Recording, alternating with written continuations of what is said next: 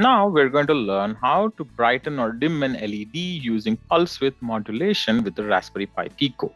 For this, we're going to need a Pico on a breadboard, an LED, a resistor, and a wire. Take a look at this diagram to help you build the circuit. Use this wire diagram to help you verify and uh, build the circuit. Let's connect the LED and connect the negative end of the LED to ground through a resistor and the positive end or the anode to a GPIO configured as an output.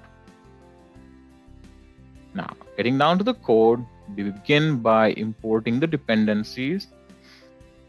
We import utime for some delays and also import pin and PWM from the machine module.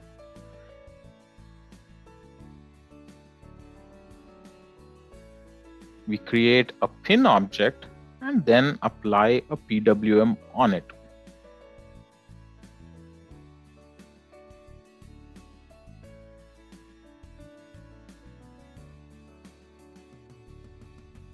We set the PWM frequency to 1000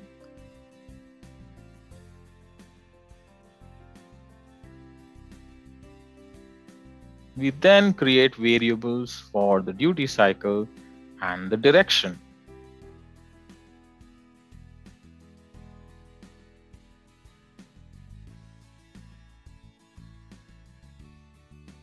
We then create a large loop which repeats many times. And in this loop, we will increase or decrease the duty cycle alternatively we increase the duty cycle from 0 to 255 and then we change the direction and decrease it down to 0.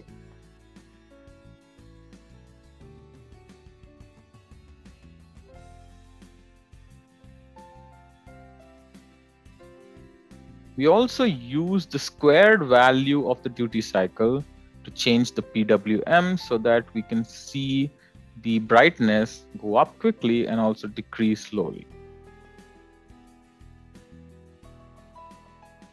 We then also use a little bit of a time delay to be able to see what exactly is going on. You should now be able to see the LED increase and decrease in brightness.